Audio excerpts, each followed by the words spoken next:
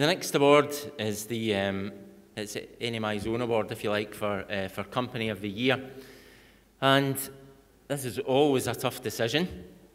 Um, it's open to all companies within the electronic systems sector operating within the UK. It's open to members and non-members. Um, we try to think of companies that are exemplars, that can inspire others, and that, that uh, symbolise the ever-increasing value of technology to our economy, our industry and society. Unlike many other things, uh, size does not matter for this award, but spirit and the pursuit of excellence and accomplishment do.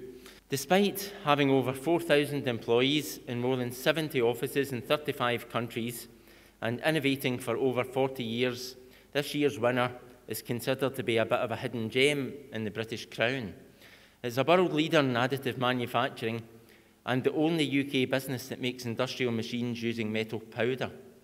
It supplies products and services and applications as diverse as jet engines, wind turbines, and dentistry and brain surgery. With 16% of revenue spent on engineering and R&D, it also is a commitment to the future and to continued excellence. Also worthy of note is that it is encouraging to see that people are a core element of this company's strategy. Ladies and gentlemen, please join me in congratulating NMI's Company of the Year 2016, Renishaw.